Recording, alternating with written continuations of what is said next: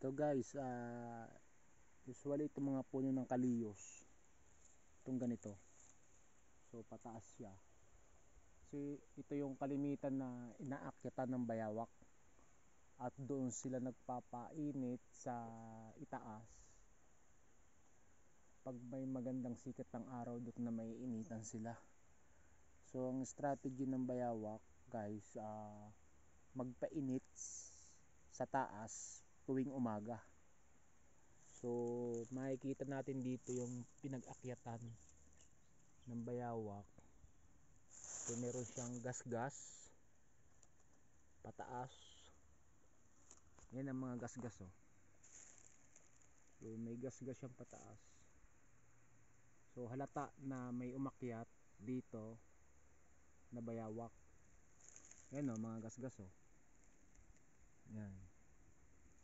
Di yan yumayapos ang bayawak pag umaakyat sa taas. Hanggang dito may gas-gas siya oh.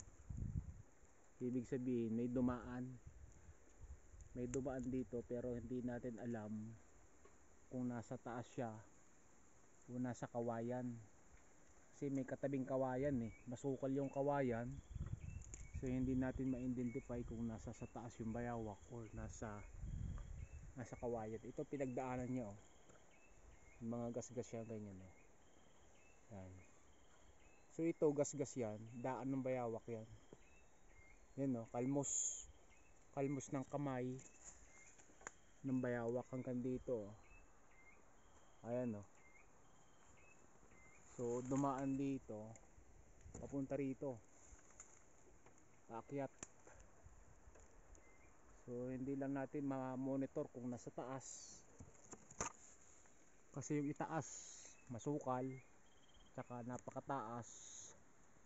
Hindi ko makita yung ilalim ang ibabaw.